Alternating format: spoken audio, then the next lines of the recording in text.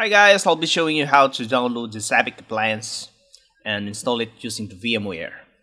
Okay, you'll just go to this website. Everything will be provided in the description and we'll choose 6.4 and you have all the list here but I'll just go with 6.4 and specifically I'll choose this uh, VMware.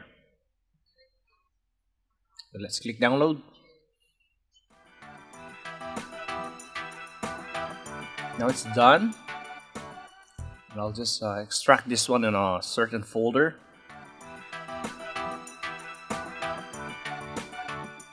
Just to let you know you need the 4 core to run this uh, Zabbix appliance. So you better check your uh, computer if you can, can support uh, you cannot run this one with the 2 cores only. So we'll just uh, open the virtual machine. Simple as that. You just click and I'll just make sure this is uh, using bridge mode.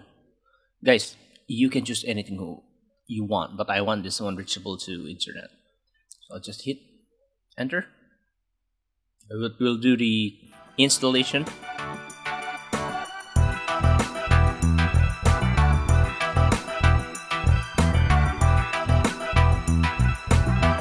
It may take a while but uh, you will see the login page later Okay, for the CLI, the username would be root, R-O-O-T, and the password would be Zabbix.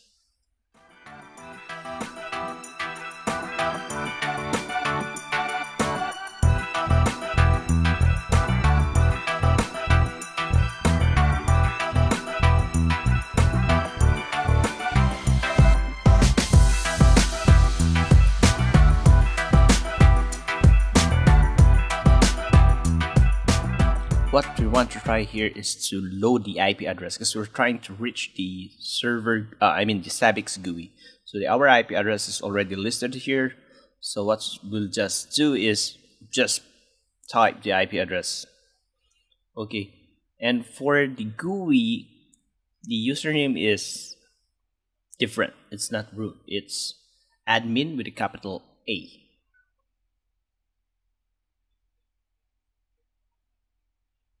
but the same password is Zabbix.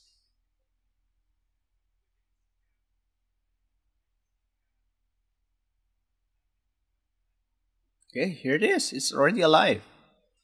Now, what we'll do is we will monitor one of the servers. Okay, basically, this is like the server 2019. Okay, I'll just power on this one. The things that uh, I need here is the SABIC, Zabbix agent. So we will install a Windows Zabbix agent on this 2019. So it can be able to... Okay, the Zabbix server is trying to communicate using this uh, Zabbix agent. You can actually choose a SNMP string to communicate in between the server and also the Zabbix server. But for now, what I want you, I want to show is installing a Zabbix agent, which for me is uh, pretty straightforward.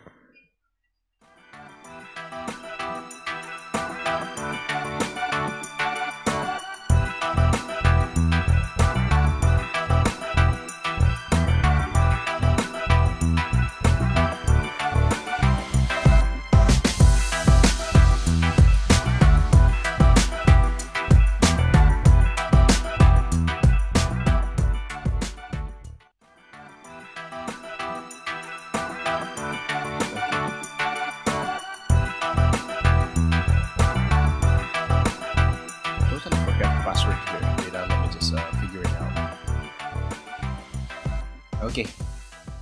Managed to log in.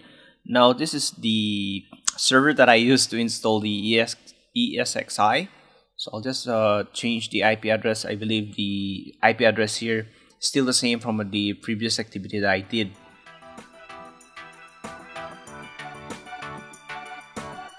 Let me just uh, quickly try something here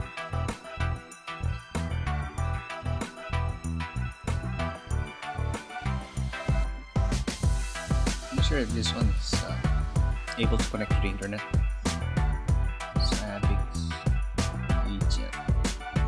Okay, confirm it cannot go to the internet. Let's just uh, troubleshoot this one quickly.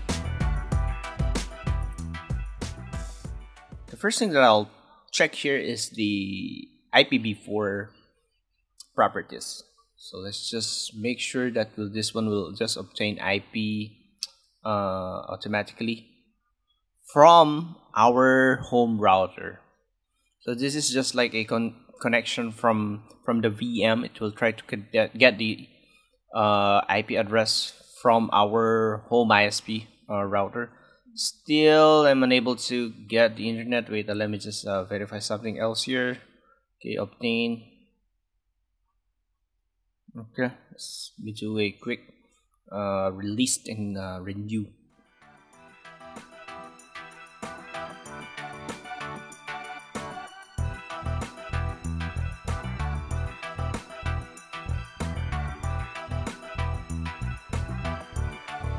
Okay, great. All right. Now let's download the Windows Zabbix agent.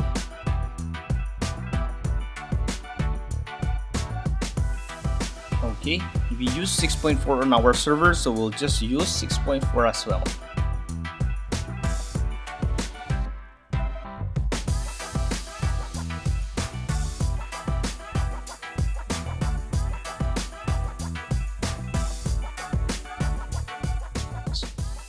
Quick uh, installation here. Now for the uh, server, you should use the IP address of the server for the Zabbix server.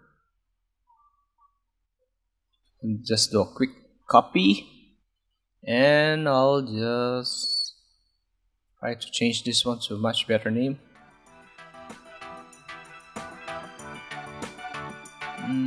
Maybe I'll rename it again. Okay. This one will do, and I'll paste the IP address and click next. Install. Okay, finish.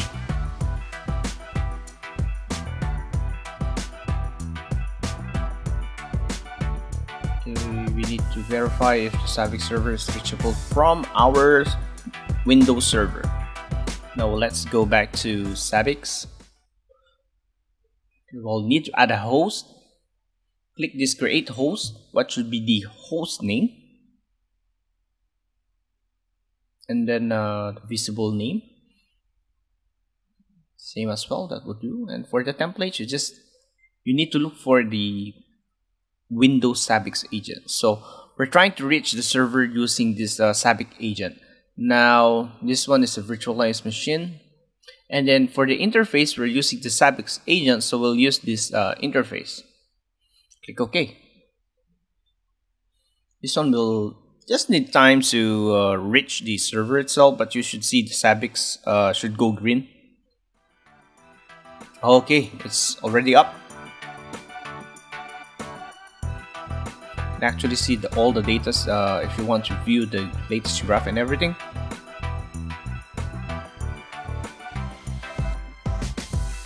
Quick ping. Let's go to the dashboard. You will see it's already 2. So if you want to customize this one, you just click edit dashboard. I don't want this dashboard. I might just delete this one. I don't even need this. Delete. It here. You can expand. Okay, the graph here is the server itself. So you can choose that right now it's showing the netroute server. And then if you want to show if there's any problem, you just take any of these options on the top. I don't want this server uptime as well. I just delete those things. It really depends on you guys uh, which widget you want to show inside your dashboard. But as for my side, I just want this uh, simple uh, things right now.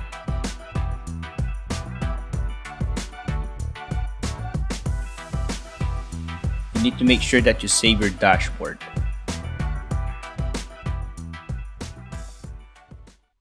Okay, maybe we can add another more uh, server here. I'll add my own PC he the Zabbix agent again, 6.4.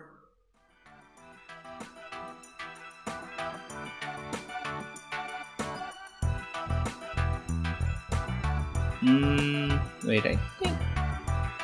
Uh, wait, hold on a minute. Oh yeah, I still have the Zabbix right now installed already. Yeah, just change again. So reinstall and everything. Okay, that's it.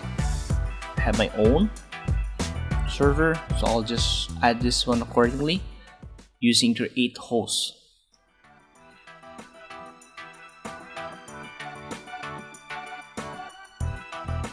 This would be the host name.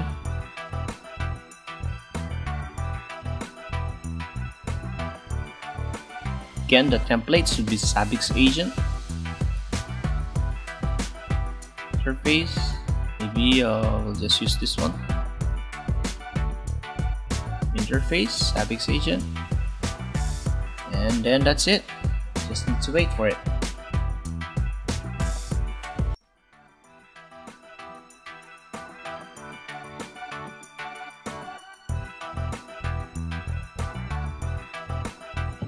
Alright, it's up, it's free already. Okay, that's it guys. I've already shown you how to download, troubleshoot, and also install this Zabbix agent which is very easy, straightforward, which uh, you can use for a Windows server if you want to monitor it